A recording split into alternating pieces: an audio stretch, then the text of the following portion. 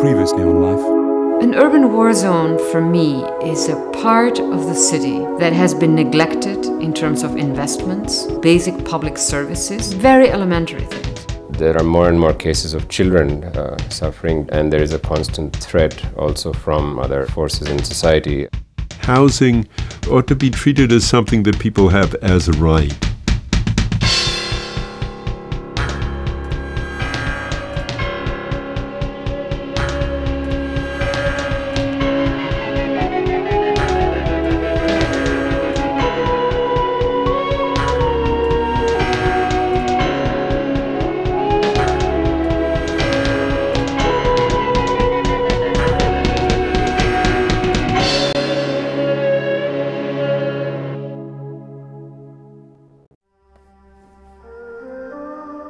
The Gaza Strip, sandwiched between Israel and the Mediterranean Sea, is just 45 kilometres long and 6 wide.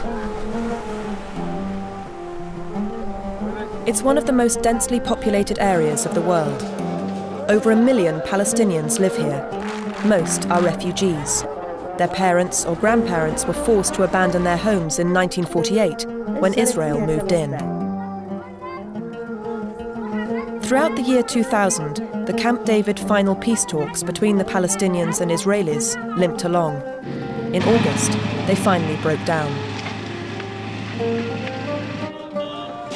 Tensions rose, and in September, a provocative visit to the Al Aqsa Mosque sparked the second Palestinian Intifada, or uprising. Gaza's always been hemmed in, surrounded by Israel. Under the iron grip of the Israeli Defense Force, it's become a virtual prison. No one is allowed in or out without their permission.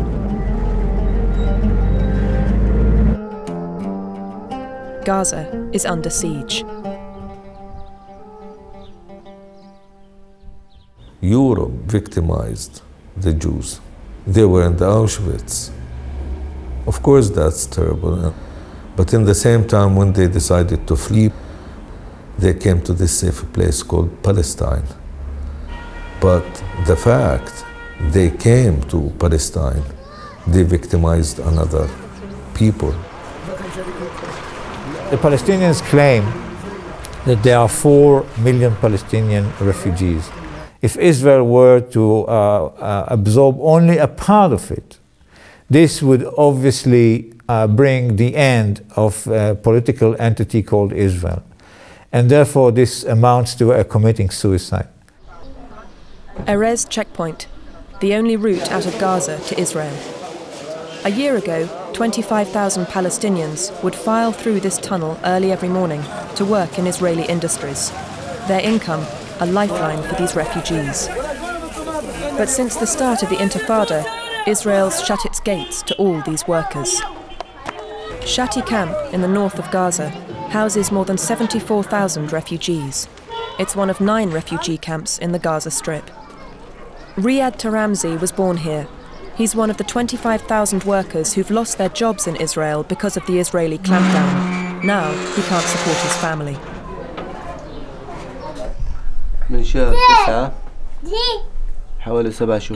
since September last year we haven't been able to get to work. You could say everybody is in the same situation. people are struggling from these things such as not being able to work or get a job. you understand me? life without work has no taste. Riyad and his wife Sabah live in this two-roomed house with their seven children. Before, the family could just about survive on Riyad's weekly pay packet from Israel. Now, life is becoming daily more and more difficult. They're like thousands of refugee families in Gaza. أول إشي كهرباء إحنا مش دافعين فيش معنا ندفع كهرباء فيش معنا ندفع مية First of all, we تأمين- haven't paid تأمين the برضو electricity كمان bill صحي because we haven't any money to pay it. We can't pay for water, تلفون health ما بدناش insurance. ندفع Also, we can't pay the telephone كلهم bill. موقفين يعني We زي ما can't نقول pay يعني anything. كلها I mean, the situation is وضع تعبان disastrous. يعني شع Not يعني just for الشعب me, كله يعني تعبان but مش for على قد everyone. انا كمان يعني والله يمكن من فوق ال- ممكن من فوق ال 1000 Really, دينار. I've borrowed over 3,000 US هذا خلف dollars. الكهرباء وخلف And that's ال- not counting the bills. خلف التلفون This وخلف means ال- that in two years' يعني time, مد- مديون I يعني can't بدنا كمان repay this سنتين loan. لنسد الدين If this goes on, no one will على be أوضاع able كان to بتضلها زي هيك repay ولا حد one بيسد shekel. شيكل هذا بيبقى اخوه ل... هذا اخوه الصغير للزلمه This is لرياض. uh, Riyad's هذا younger بيشتغل في brother. السوق. He هذا works بيصرف in على the عيلته market. وعلى عيلة He is رياض. supporting his and يعني Riyad's بعطيهم family. مصروفهم He لأولاد gives رياض Riyad's و- children pocket وبيجيبوا money بالسوق. and brings them from the market بيجيبوا لهم كيسة and طحين. buys them a sack of يعني flour. إيه بدي اقول لك كمان What more can I say? Riyad's son in law Ramadan used to work as a plasterer in Gaza, but now he's lost his job too because of Israel's stranglehold over the local economy. What have you been doing? I've been out looking for work from early morning. My legs ache, but I haven't found a job. What can I do? What can you do? You're just like everyone else. It isn't just you. Well, everybody else is going to explode if we have to sit at home like old women. Our economy is linked to Israel's behavior. If Israel prevents the 50,000 workers going to work in Israel, that means that 100,000 people working in Gaza will be unemployed. يعني مش أنا unemployed. لكل الناس يلا رمضان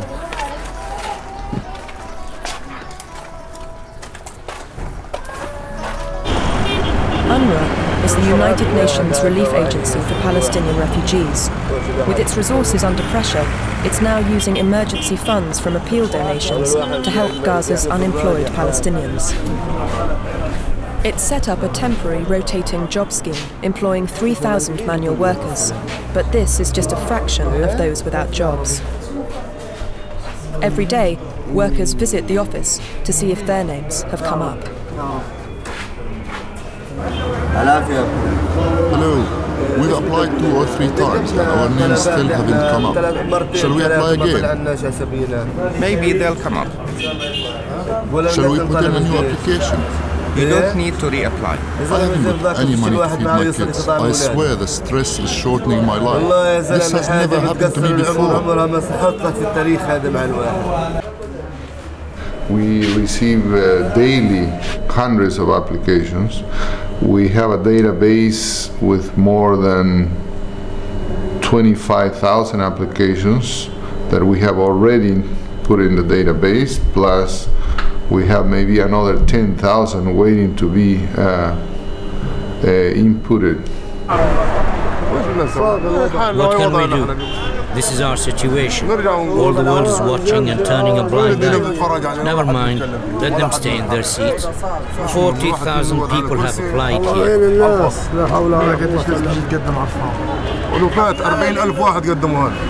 There's no money, there's no. استنى يا راجل استنى غمرة غمرة احنا هنا قاعدين بنجري Here we are running after something to eat and we can't get it. There's no money. And where can we get it? And the kids want to eat. We can suffer, but our little kids can't. Israel invaded and occupied the Gaza Strip in 1967. But over the last seven years, since the signing of the Oslo Agreement, the Palestinians have been allowed a degree of self rule and economic independence under the Palestinian Authority, although Israel always retained overall security control. This fragile alliance has now broken down, and Palestinian refugees are now suffering the consequences.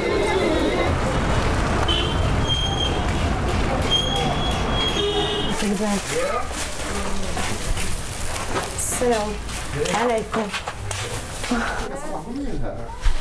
For Sabah's mother, Thorea, the trouble started when the Israelis came and took her land 53 years ago.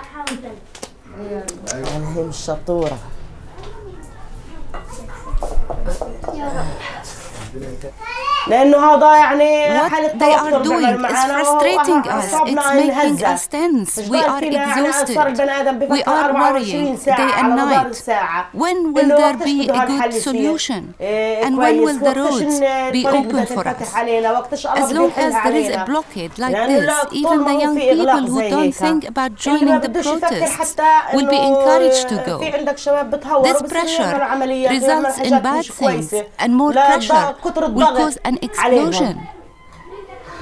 لانه ض- كتر الضغط بولد الانفجار حرام عليهم تاخذوا Shame بلادكم on ما them تقعدوا to take تتركوا our فينا land and shoot us. With tanks. آه، We have no دبابات. tanks, لنا no دبابة ولا guns, no معنا سلاح weapons, ولا معنا just حاجة. pieces of نتت stones. الحجر. What's a stone? وش الحجر Two sticking points in the peace negotiations were the refugees' right of return and the control of Jerusalem. These led to protests and clashes. Almost daily, children go to throw stones at the checkpoints. Many get shot. At Al Auda Hospital, near the main border checkpoint, 15 boys have been admitted with gunshot wounds today. Our young man here is well known for us. this is his second time to get injured uh, during this intifada. He's 13 years old. ايش بروح تسوي على ايريس؟ He said that we go to uh, checkpoint, to the Erez checkpoint, so that we can protect our land. لا إله إلا الله. Yes. Uh-huh. She said just uh, thanking God for uh, his injuries uh, because it's not serious. uh, But it's it's really you know dangerous to go up, the, up there. But we have to go. We, we cannot just let these young uh, young kids die. كنت رايح اطبش اللي هو كان لي اياه Uh, he went there to throw stones. Then they shot him. بقيت ادور على اخوي قالوا لي الناس عارت اخوك كان في ايرز Uh, somebody told him that his younger brother was at the checkpoint throwing stones. His younger brother ran away from him, and as he was hiding, he received a bullet. I would say two bullets actually. بقول لهم يما بلاش تروحوا يما وإشي زي هيك يعني She tries to tell them not to go. بمنعهم يعني عن She الأشياء tries to prevent them not to go, but they go. يخاف آه، I'm afraid someone will convince my children to go to Al Muntar or Netzarim junction or any point where the Israeli army is present and they get hit and killed. That terrifies me.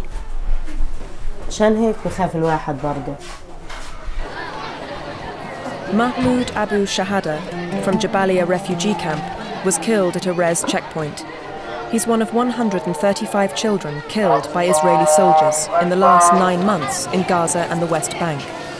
Over 400 others have been disabled. Half were under 17. بلال رضي الله عنه وهو في الرمق الأخير غدا ألقى الأحبة شكر الله سعد الحمد لله على كل حال خلاص روح حسن قول ابوك مضروب عشان هاي جيب لنا حجر كبير My friend, you work with him in the supermarket. He is he is for uh, 15 years old. Killed him in his head. There are few Israeli commentators who publicly condemn the military's response to the Palestinian children's protests, but journalist Amira Hass does. It has become completely unquestionable that the army has a right to shoot at children who throw stones, and uh, those stones don't even tickle the army beton blocks which make this military post.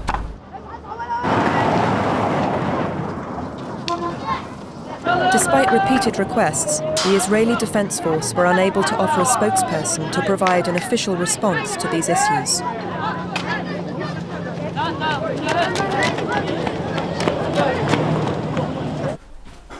He's lucky not to understand too much, isn't he? Yes, ah, it's better. He doesn't know what's going on. So he is not afraid. Yes. Isn't that right, Akram? You don't worry, do you? Good boy.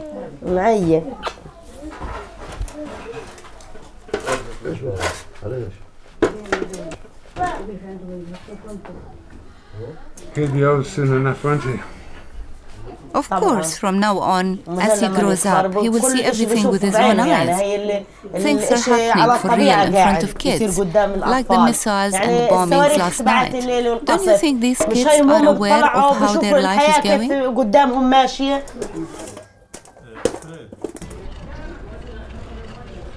Air raids on Palestinian cities are becoming more frequent. Last night, only two kilometres from Sabah's house, Israeli missiles struck the Palestinian Authority's Force 17 base in Gaza City. The reason? The Israeli Defense Force blamed Force 17 for recent attacks on Israeli settlements.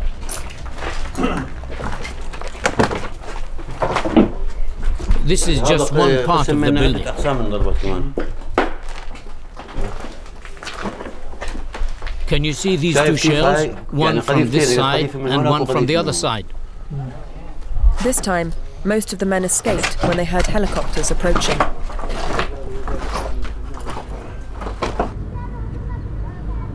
It's, it's called guided missile uh, surface. Of course, they are made by the United States of America.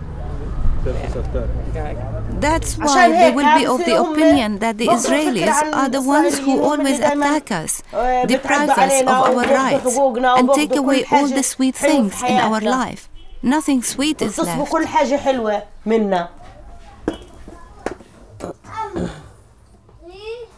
I won't imagine any sort of peace can be concluded except Israel as a state, as a people, as collective conscious said, fine, we committed something wrong, we victimized Palestinians, we made them refugees. These people uh, were suffering for the last 53 years, and it's about time to find a solution. While we feel compassion for all these refugees, we think that there should be a solution which will uh, give satisfaction to the Palestinians, uh, Palestinian refugees, but at the same time will maintain the survival of the state of Israel. Personally, as an Israeli Jew, and I see myself as a child of, of, of, of refugees, refugees from the Holocaust. I, I don't understand why I have more rights here than, than Palestinians. The refugees' right of return is set out in the United Nations General Assembly Resolution 194, passed in 1948. It states that refugees wishing to return to their homes and live at peace with their neighbours should be permitted to do so at the earliest practicable date. The refugees' right of return is reinforced by international treaties, the Universal Declaration of Human Rights, the Fourth Geneva Convention, and the International Covenant on Civil and Political Rights. They do have the right either to return compensated or to choose another place. But right of return is fully guaranteed according to international law, according to UN General Assembly Resolution 194. When Israel applied to become a member of the United Nations, it uh, was accepted on the basis that it will respect Resolution 194, but it did not. To add to the family's other problems, Akram is sick. He needs surgery to correct a congenital gut disorder, a cost that the family will have to contribute to, with money they don't have. It's an all too common problem among refugee children here, as Dr. Mustafa Khalil explains.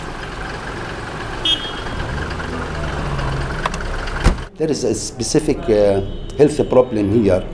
It is regarding to the situation as anemia, as uh, uh, growth and development problem, as many things. Gaza Strip and refugee camps due to the economy of the family, especially the economy of the family, the income. And here now, there's a problem because there is uh, uh, no work for the big, the, the, the head of the family, big number of family. It is here a problem, you know.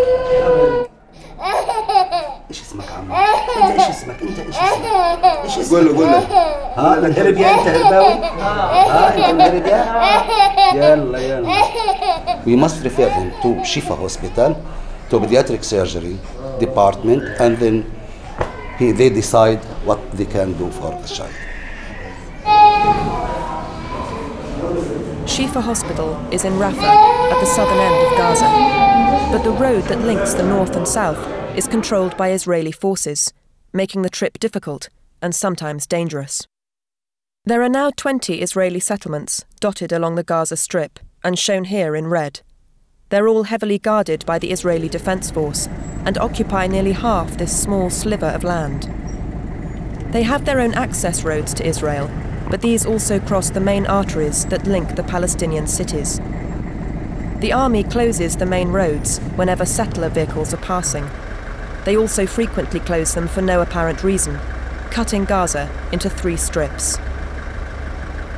What is taking place is actually a process of Bantustanization that um, Israel managed to, and with the with the consent or, or tacit consent of the Palestinian Authority, managed to cr- create a geographical and demographical uh, uh, uh, picture and scenario of very distinct um, pieces of land where Palestinians live and enjoy some self rule within, but all are scattered and disconnected uh, uh, from each other and uh, drowned in an ocean of Israeli control.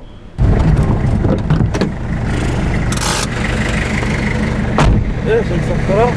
حاطين لك الدبابات في النص بقول لك كبتة وبقول المستوطنين بقولوا حاطين الدبابات في النص والمستوطنين settlers بدون are trying to stage a sit-in uh, at this settlement road, and the IDF is guarding them and blocking the road.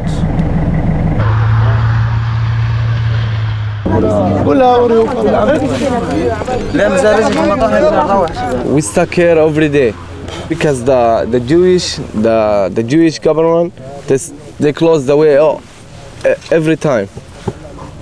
For what reason? They have okay. They have no reason. We don't know.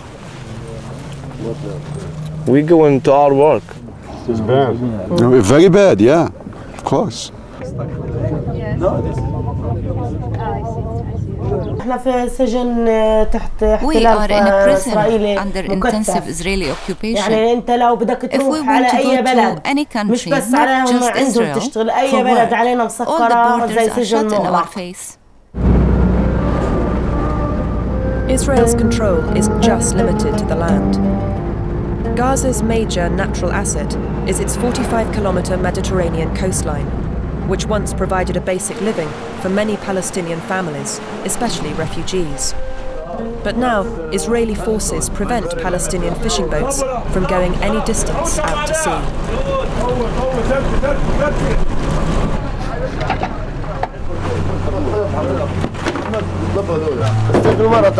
The fishing is very poor. We don't even get enough to feed ourselves or pay for the fuel. All night, just seven boxes and not even good fish. We haven't got enough good space to fish. The area is under siege. We can't get to good fishing grounds. We're only allowed to go one and a half kilometers out to sea, which is nothing, and there's a thousand fishermen. How can there be any fish left?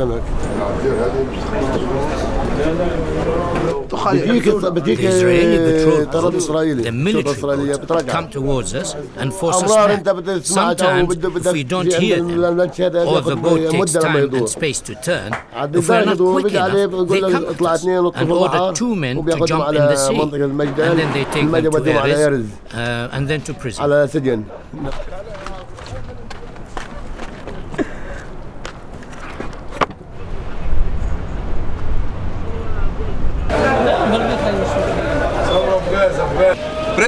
Government the fir- uh, make make for us the first problem.